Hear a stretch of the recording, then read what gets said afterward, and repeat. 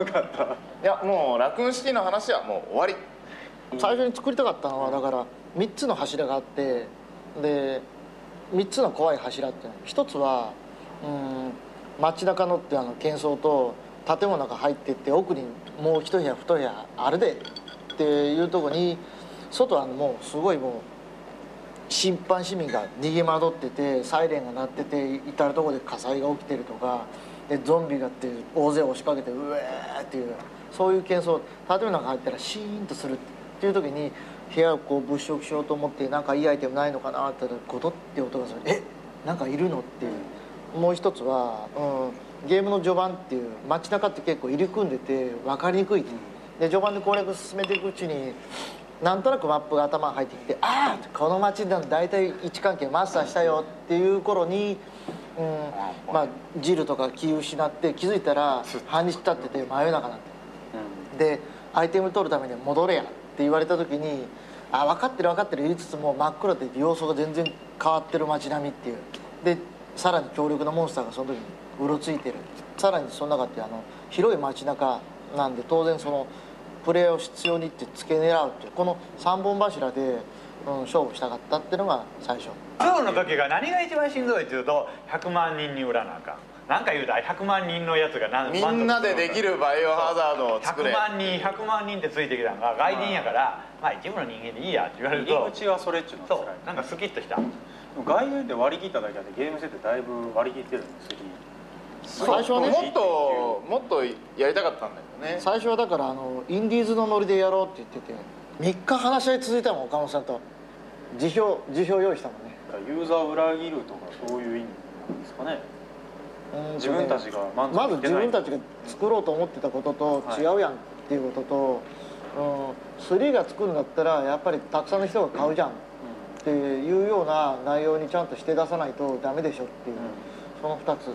青山が一番3でこだわったところどこなのディレクターとして。こだわったところ？なんで笑う？ひどいね。遊びたかった。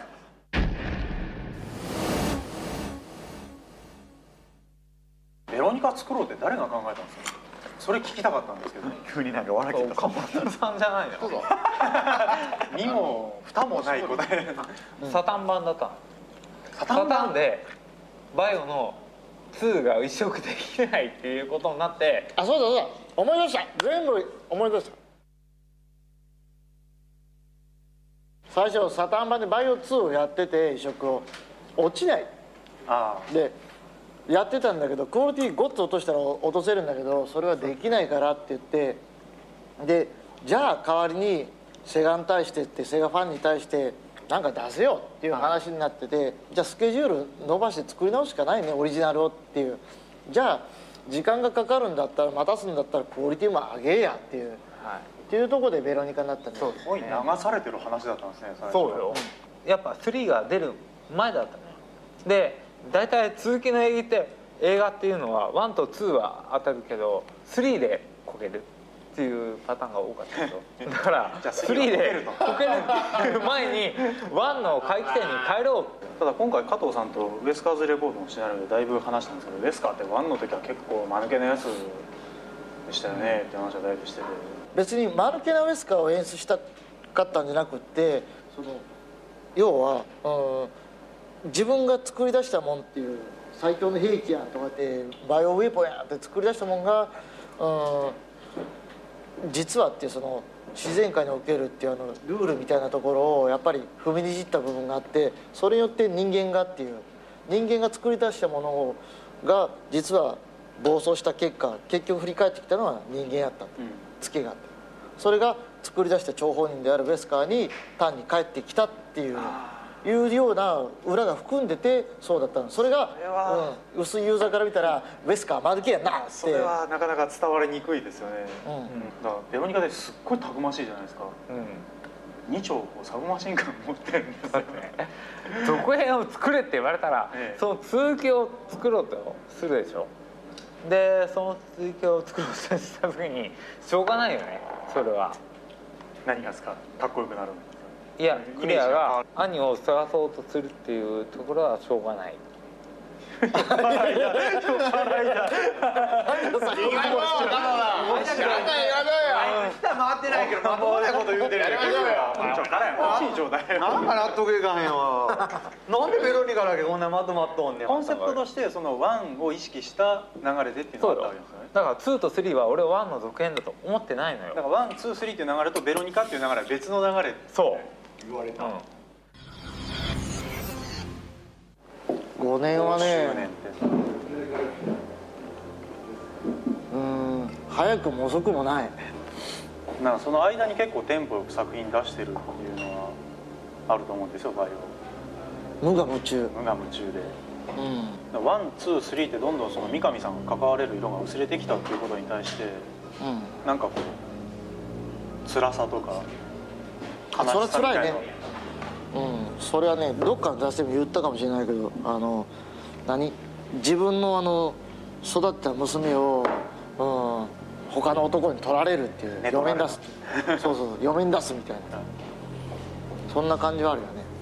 なプロデューサーとしてメディアに出ることが多いわけじゃないですか、うん。バイオシリーズに関しては、そこに対するジレンマとかっていうのは？うんそれもある。それは？うん。まあ本来ならばディレクターが一番っていうその一番前に出て、はい。メディア使うてで自分でやりたかったこととかいろんなことを喋ればいいんじゃないのかなって。それが一番うんピュアな形だと思う、ここからは自由に。うん、こっからはっていう自由に、作りたいものをうん。作る。作りたいものを作る。ごくごくあのクリエイターとしてうんまあ健全なスタンスっていうかそこで行きたいねっていう。ずっとユーザーってバイオ4って待ち焦がれてると思うんですよ。うん。三上さんの思うバイオ4バイオ4っていうのはどういうもんなんでしょうね。存在的に。区切りが一旦ベロニカでついた相対的にはフルモデルチェンジでしょ？今度こそ。もう中途半端なフルモデルチェンジじゃなくてうん全てにおいてやっぱり新しい。まずバイオハザードであってそう。新しい。バイオハザード4はなんかもう作ってないんじゃないかって思われそうですよね作ってる作ってる。作ってるよ。ちゃんと作ってんのかって言われそうめちゃめちゃ作ってるけどあの中途半端なものは出せないんで、うん、時間をあんまり気にせずっていう。今まではすごい時間時間に追われてたけど時間を気にせずええもん作るためならっていう。いうとこでまあ頑張っていこうかなっていう。バイオワン以来だもんね「おすげえ」って言って自分が現場降りても、うん、OK 出しをする絵っていうのは多分久々かなって。5年ぶりかなって。三上真司プロデュースじゃなくて三上真司ディレクションっていう作品が今後出てくる。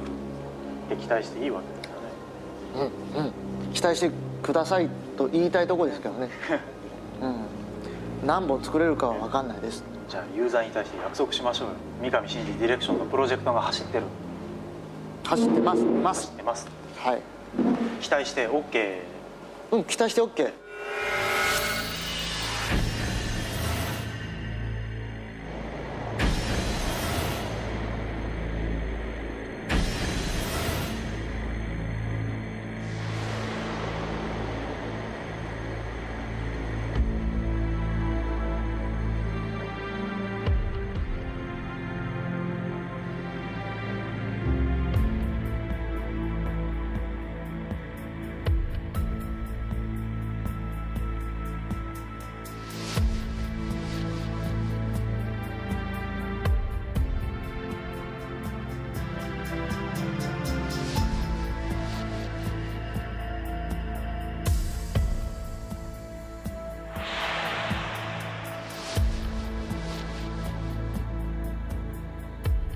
Biohazard Team